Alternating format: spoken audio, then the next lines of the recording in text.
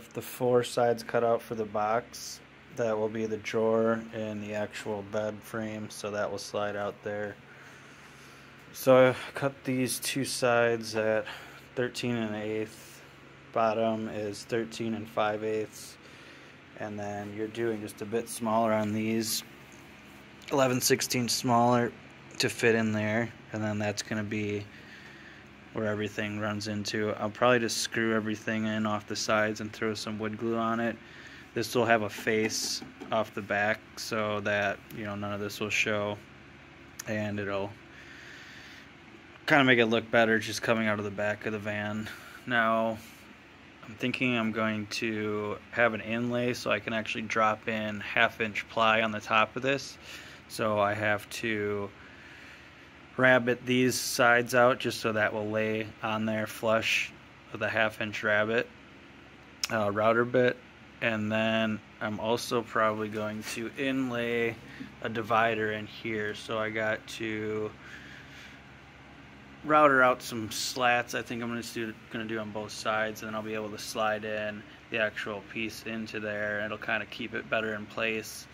And then I'll tie in from the bottom with screws into those sides with screws and glue it's just kind of an added protection as far as having that move around or anything because there might be something kicking up against it so over time that might wear that away if you don't have those little channels cut into that to hold that in place. So now I'm going to go from this back edge here up to cut my channel. So I marked that at 26 inches, cut my 3 quarter inch channel on this side. I'm to do that with the router. So just getting that set up now and then got my other piece marked here. So I'll run a straight edge down get my line, set up my guide, which will be just a level, and then I'll rip that over that. And I'm gonna go a quarter inch down into that, so there'll still be a half inch left as far as support goes. Okay, I've got my guide set up now for the one piece, so you just got to figure out the depth from the flat side of your router, in this case right there, to the bit and run that guide over that distance and then we're going to run that flat edge along that edge to get that groove cut out. And remember you're cutting out on this side. So make sure you mark that. And instead of going quarter inch I went 3 16ths inch on the depth. So just keep that in mind because you're going to have to cut your board width to fit in the middle of these two that extra 3 8 inch there.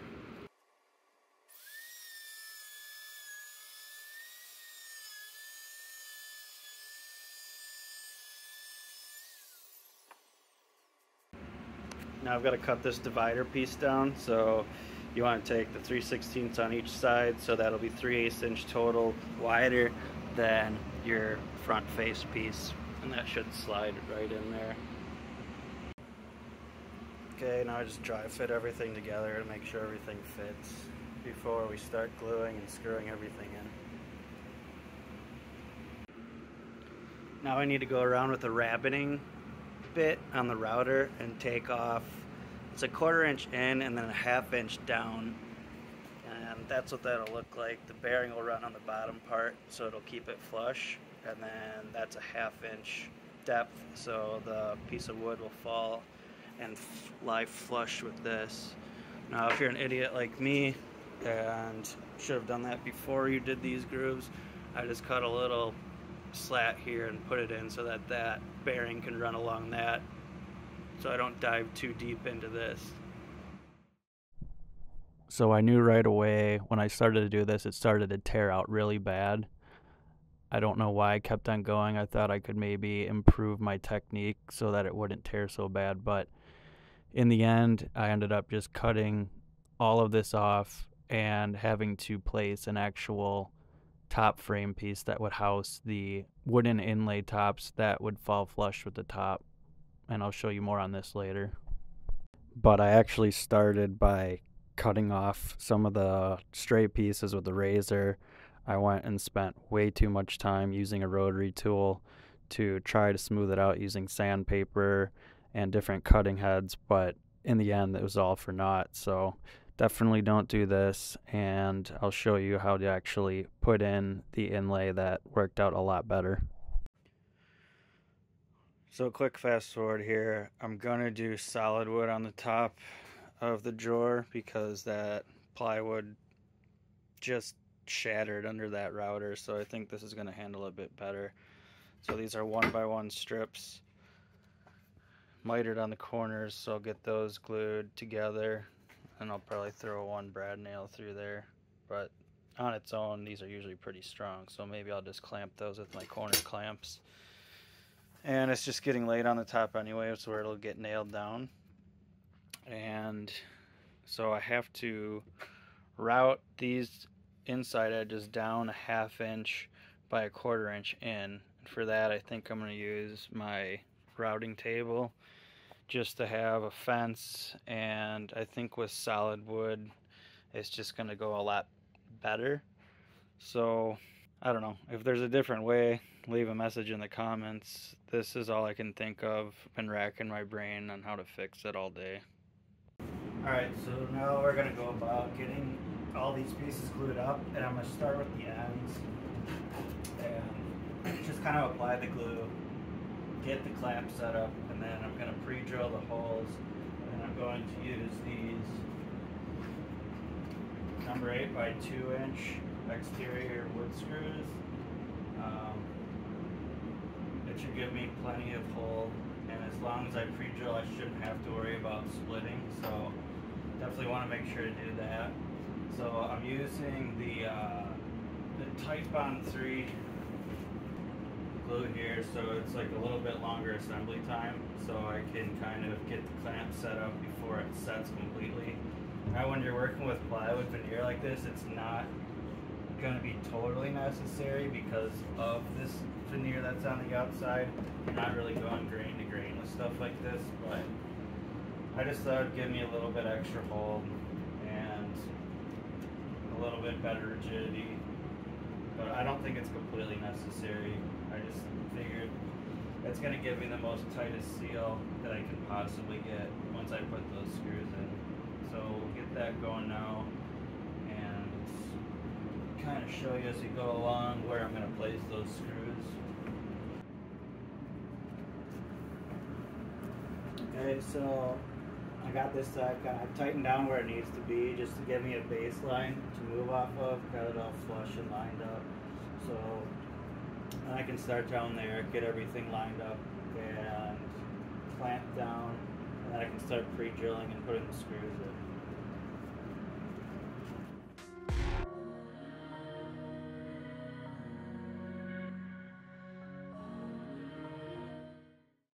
Okay, I've got these pretty well held in I think I'm just going to do blue on the ends.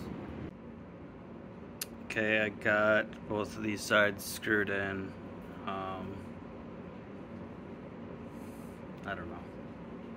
I don't know anymore. I'm trying to tie in that bottom to the bottom piece over here and then getting these three in to the sides to get in there. I mean, it's fairly taut. Not square on the top is of course uh, so gonna have to fuck with that. Uh, I just don't even know anymore guys. I really don't. It's together whatever now I'm just gonna start going down the sides and try to put one in every I'm doing every eight inches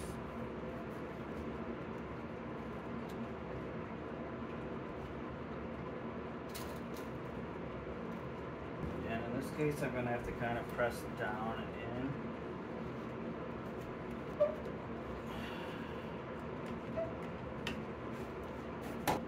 I just went through and clamped up the bottom so it was flush. So just going through and feeling where it's flush and then clamping it tight so I get the screw in there. Most important part here is to get in the exact center of that bottom piece of plywood. So I'm just measuring up using a square and making sure I'm not going to blow out either side of that bottom piece and getting adequate holding strength from the screws here. Okay, so this side's mostly done, one every 8 inches. I'm to wait to do these ends when I put the end cap in. So just to make sure that this is flush on the bottom again, clamp it down, pre-drill, and put in all the screws. Okay, we're to put the end cap on now. Just get that glued and clamped in, screw it in all the way around.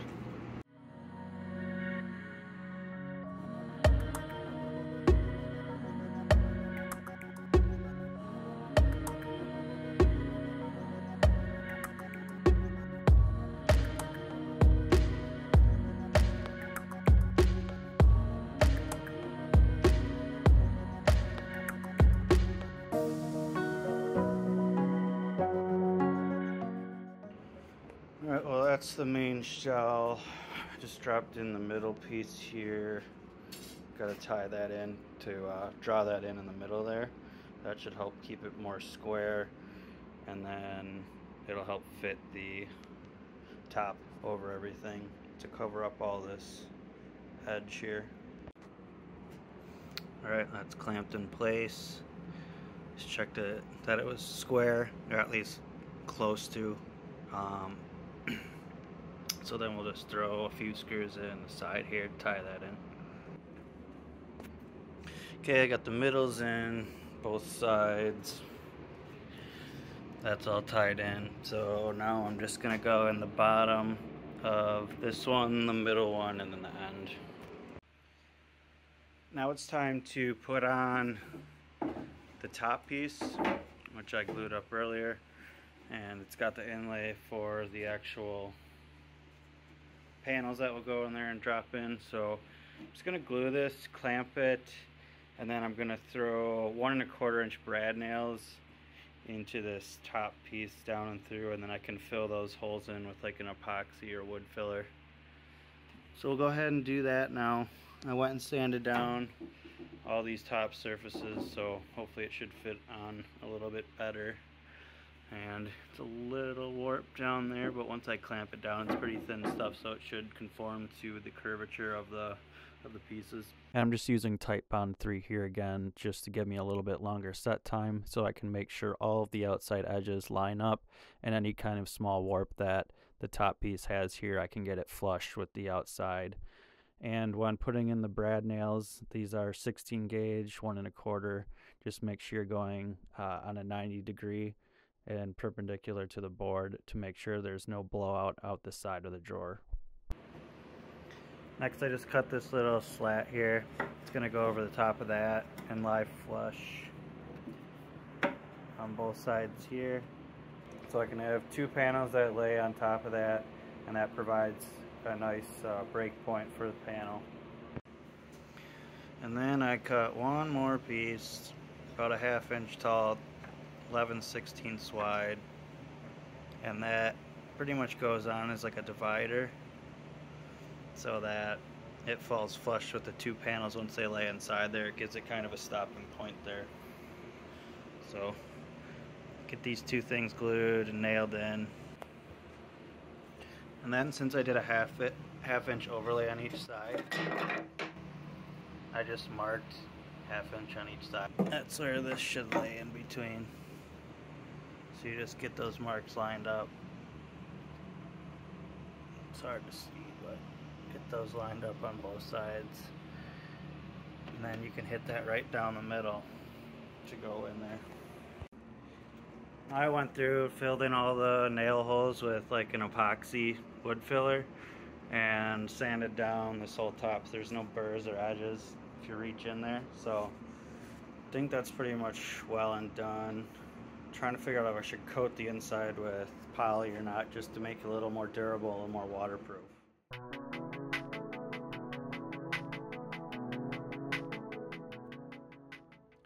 Well, the drawer slides came today. Just been trying to figure out how they're going to lay out on the actual frame here. Um, they seem like pretty good quality. They're locking. They pull out their uh, 48 inch uh, extension there. So I'll link in the description the brand and everything. It was about 180 bucks for them, about 200 with tax. seems like it should work pretty well with this setup. They do stick out a little bit, so that was kind of a concern, but after measuring in the van, it seemed like it should be fine. Alright, sorry about the sound. It's raining actually in August, so pretty fortunate. I'm just trying to dry fit this now. It is super tight. I don't know if because it's so humid that measurement's off or not, or if I just fucked up again. Both are possible. Uh, and it looks way bigger on that side than that side, so I'm hoping once I kind of pinch these in and get that more flush all through there, I'll be able to slide this one in. But I think I might, since with these slides you have to attach to the frame first and then I'll have the box pulled out and then you have to attach the box to that outside frame by uh, opening up the slide and there's access points where you can come into these holes. So I'm having this one just inset looks like maybe like a quarter inch so I just marked that it's just where this notch just clears that it's just so in the back of the van um, I can utilize as much space as possible without this hitting the door or the paneling on the back door. So I have that pretty much flush with this piece here and it's still accessible. You can still get it all the way down. So I just made a mark on the inside there to mark where I gotta set the slide up. Getting this to all line up is tricky. Um, so what I did was got these two, you know, set into place, the brackets on the inside, and pulled out the slides all the way. And then what I had to do, since I have no level surfaces, is shim this end up because you want that to come up a little bit and then you can see there's that about quarter inch gap there. There's going to be a quarter inch gap on the bottom. And I just laid it just up on top of here on this bottom support. Shim that up with a couple eighth inch pieces of ply. And it might be a little bit more than that, but it's pretty close. I just wanted to make sure it'd clear the bottom in case there's any variation in these bottom pieces. So now I have this mostly straight, I think. The measurements on either side of this are damn near spot on. So now what I want to do is get these fastened into place, at least in the back and where I can access them. So I don't know if I'll be able to access that one. But then what you have to do is actually move back that hole to access those and then there'll be more in the front here. So I got to get these clamped into place really well so that I can actually move the slides and then these don't move. What I got to fasten these into place is a quarter inch by one and a quarter inch pan head. And you'll just want to make sure that once inside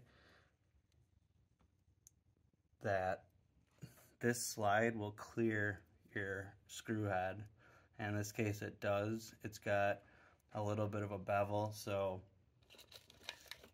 as long as I get that in flush, which I'll probably pre-drill it, it should be fine. It should clear even back here where there's no real inset or inlay. I think as long as I get that in flush, it should be able to clear it, but we'll see. You'll want to actually fit your screws in here and make sure that when you close the whole slide that the bevel in the front slide actually clears that screw if it lies flush. And in this case it does with these. So now I'm going to pre-drill these. I think I'll put one in the back here probably in this one here and then I'll just move on up to that one there's one that's actually being covered here and I believe there's three more up here okay so I'm gonna pre-drill it got a bit slightly smaller than the barrel of the screw and I just marked it with masking tape how far I want to go in, which will just be the length minus about an eighth of an inch.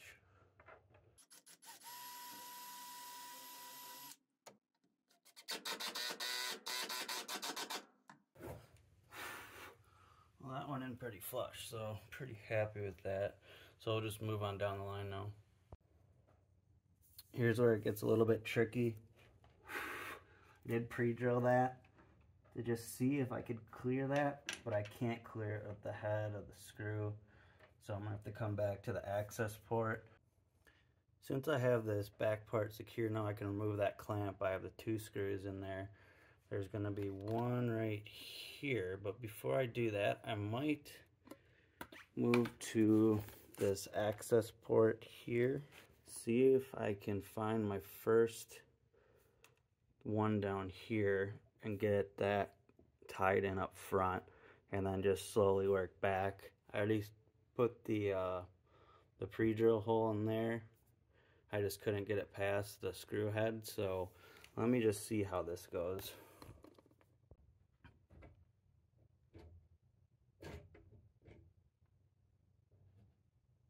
Yeah, see I just released it back here and then I was able to move this back slide actually. I didn't need to move this front slide at all. So let me try to get in there and get that screwed in.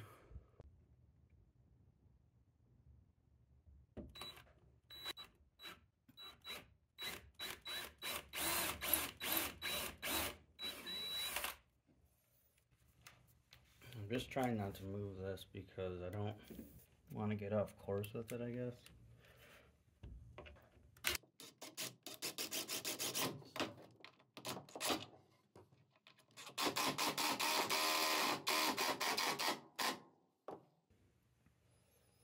Seems like that is still clear, okay. See, so you can just test it by moving that slide back. That clears that screw, so then we move it to the next one. Or the next one that you want to tie into. Put one more there. And that'll be too solid up front. Then I can probably come back a bit. Whatever, better safe than sorry. I'll just throw one in the front.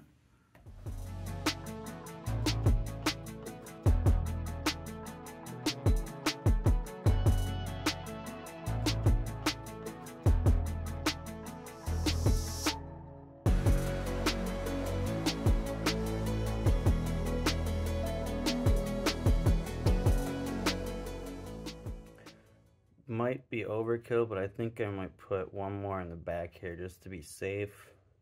So it'll be one, two, three, four, five, six, seven. Seven in each side. I think that's more than enough. But uh, these are rated for, I think, 250 pounds. So I just want to make sure that uh, it's got the proper anchoring to keep everything in place. Okay, that side's all mounted and the slide seems to be working okay. It's a, definitely a tight fit right now on the outside, but I'm hoping once I attach that and both sides, the drawer will just slide in with the bearings and some compression with uh, how, how the uh, slides can move. So just move to the other side. I don't think I'll film that. You kind of got the gist of it with that. Just make sure you're moving your slide to get that access port to the proper locations and then I move the back to get those secure. Then I just move from the front back. All right now that we got the base of the slides locked in place we're gonna move on to the actual drawer slide portion. These I'm just gonna tie in as many as I can up here. I'll probably do that one that one, that one, that one. And then it's same thing. You gotta find your holes in the access port and move along those as well. And since this is three quarter inch ply, I wanted something a little bit heavier to make sure I could kind of bind in there a bit better. So I did number 14 by three quarter inch. So I think as long as I get good coverage, I think I'm gonna do eight on each side. I think that's what it came out to be in that hidden area. So, so I think you have to tie the front ends first and then you can push the whole drawer back in and then you'll get to these access points here. Since unfortunately my box isn't super square, I'm just getting this leveled on both sides before I start screwing in the sides. That way at least I know it's level from front to back and I have it shimmed up here you know, just using quite a few different layers, but I just want to get it level with that back piece so once I get these screwed in, it will actually go in straight. Okay, so since this one's super important, I don't go all the way through the inside. Marked it a bit short. Should be fine against cracking, but I just want to make sure. So I'm going to do this front one. This back is actually lined up really well.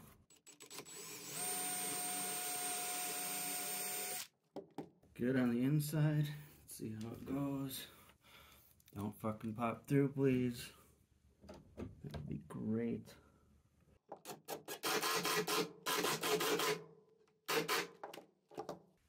Just gonna move back to this one here.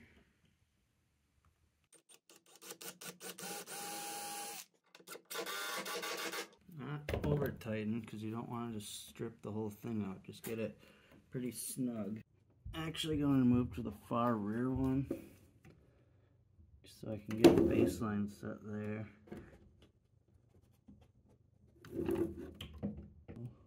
There's just enough room for me to get in there. Maybe, I hope. I really fucking hope. Yeah, should be good. Just barely snuck by. I guess I could pushed the whole thing back. I gotta get the other side. So now I just moved over to the other side because I wanted to get a good baseline set for the entire drawer so then I could move down and actually attach the interior screws to make sure it was secured.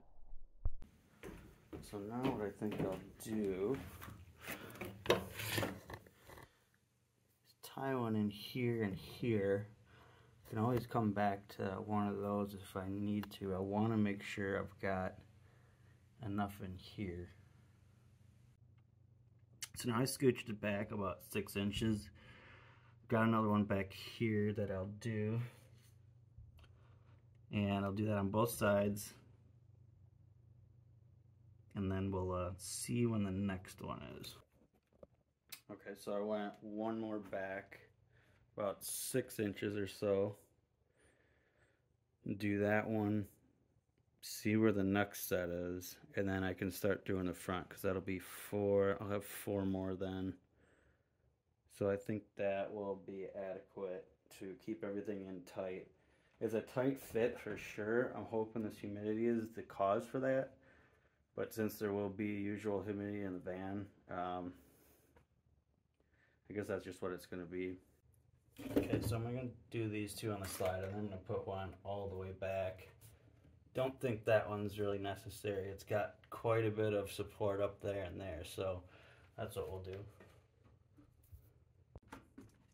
So now I pushed it back about four inches and that's the final hole in the rear. So there's one, two, three more after your first one all the way in the rear. So we'll do that one. Alright, now for the moment of truth, does it slide in?